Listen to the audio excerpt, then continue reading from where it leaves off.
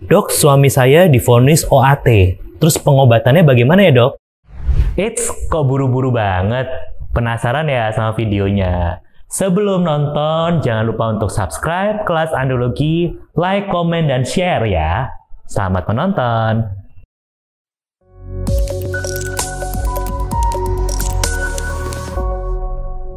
Salam Andrologi, kembali lagi bersama saya Dr. Seso di kelas Andrologi. Oke, banyak yang nanya nih, banyak yang DM saya terkait dengan OAT. Dok, suami saya difonis OAT, lalu bagaimana penanganannya, pengobatannya?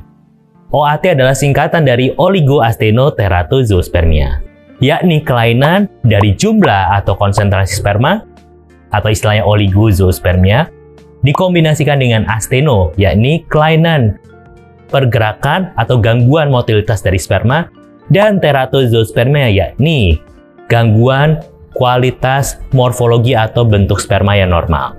Nah, apa saja penyebab dari OAT?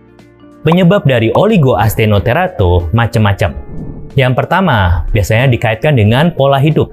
Apakah merokok, obesitas, kebiasaan memakai celana ketat. Lalu juga mungkin adanya penyakit, misalnya varikokel atau varises di buah pelir. Atau juga bisa karena ada gangguan hormon. Nah, untuk mengetahui itu semua, jangan sungkan atau ragu untuk datang konsultasi ke dokter spesialis andrologi, agar penanganannya juga lebih tepat. Sekian informasi dari saya. Kalau misalnya masih ada yang ditanyakan, jangan lupa dan jangan sungkan untuk tulis di kolom komentar. Akhir kata, saya Dr. Seso, tetap sehat, tetap semangat, dan salam andrologi.